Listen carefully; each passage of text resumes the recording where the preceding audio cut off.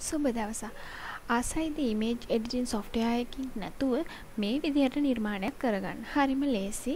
ඉතාම පහසු පියවරයන් ටිකක් තමයි තියෙන්නේ. අපිට වර්ඩ් පාවිච්චි කරලා මේක ඉතාම පහසුවෙන් කරගන්න පුළුවන්.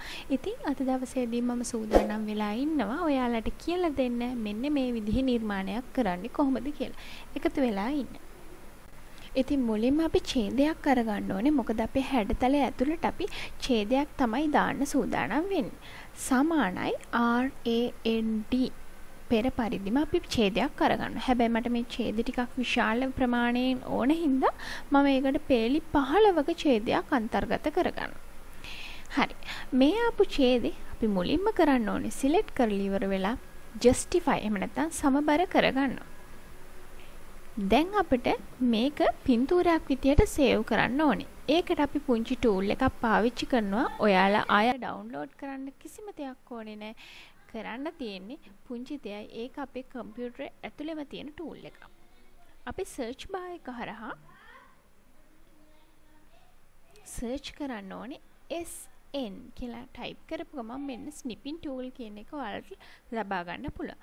එක ක්ලික් කරන්න. ඊට පස්සේ ඔයාලට මෙන්න මේ වගේ පුංචි කොටුවක් ලැබෙනවා. මේකේ තියෙනවා new cancel option කියලා පුංචි කොටස් තුනක්. මේ new කියන එකේ පුංචි ත්‍රිකෝණේ ක්ලික් කරලා බලන්න විශේෂයෙන්ම ඔයාලා මේ rectangle shape කියන එකද තෝරගෙන තියෙන්නේ කියලා. ඒක තෝරගන්න ඕනේ තෝරගෙන නැතුව වෙන ආකෘතියකට ඔයාලා යොමු වෙලා ඉන්නවනම්. ඒ ඇරෙන්න වෙන විශේෂ දෙයක් මේකේ නෑ. හරිම පහසුයි මේ ටූල් එක පාවිච්චි කරන්න.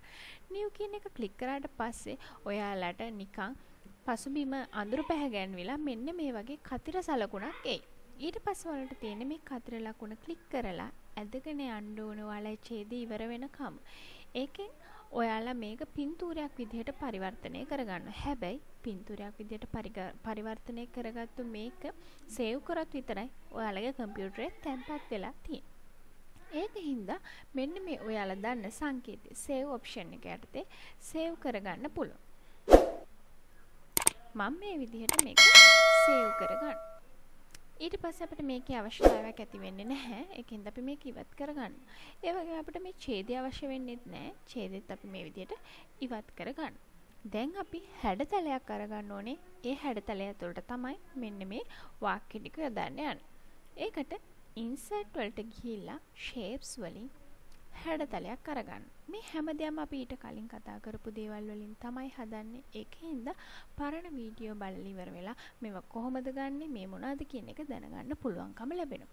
හරි. මේ විදිහට අපි හැඩතලයක් ගත්තට පස්සේ ඒ හැඩතලේ fill කියන එකට ගියාන් පස්සේ තමයි ඇතුළට යොදන පාට හෝ චිත්‍ර වෙනස්කම් කරන්න පුළුවන් වෙන්නේ. අපි පිච්චර් එකක් ගත්තෙන්ද පිච්චර් කියන එක තෝරගන්න.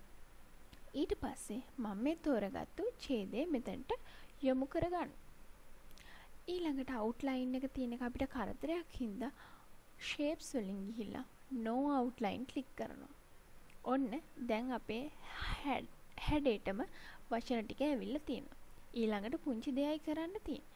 ෂේප්ස් ඉෆෙක්ට් යටතේ ඔයාලට දකින්න පුළුවන් ප්‍රීසෙට් කියන කොටසක්. එහෙම නැත්නම් මේ දේවල් වලින් ඔයාලට shadow 3D rotation හැම දෙයක්ම කරගන්න පුළුවන්. හැබැයි ප්‍රීසෙට් වලට ගිහිල්ලා ඉවර වෙලා ඒකේ තියෙන ආකෘති වලින් ඔයාලට කැමති ආකෘතියක් තෝරගෙන මේ විදිහේ ආකෘතිය හදාගන්න පුළුවන්. ඉතින් මේ තියෙන්නේ මන් තෝරගත්තු ආකෘතිය. දැන් ඔයාලට පේනවා ඇති මේක ඊටම ලස්සනට හැදිලා තියෙනවා. අපි චූටි වෙනසක් කරමු. අපි දාමු මේකට පුංචි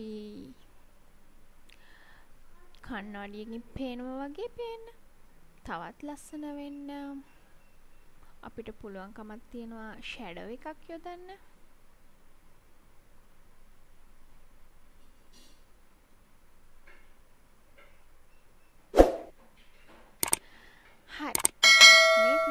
කරපු නිර්මාණය.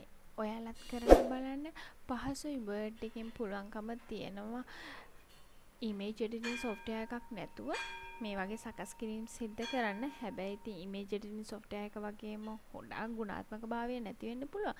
හැබැයි එදිනෙදා තියෙන පුංචි ගැටලු निराකරණය කරගන්න මෙන්න මේ විදිහේ වර්ඩ් ඩොකියුමන්ට් එක පාවිච්චි කරන්න පුළුවන්. ඉතින් කරලා බලන්න අපි තවත් දවසක හමු වෙමු මේ වගේම සුන්දර නිර්මාණයක් සමගින්.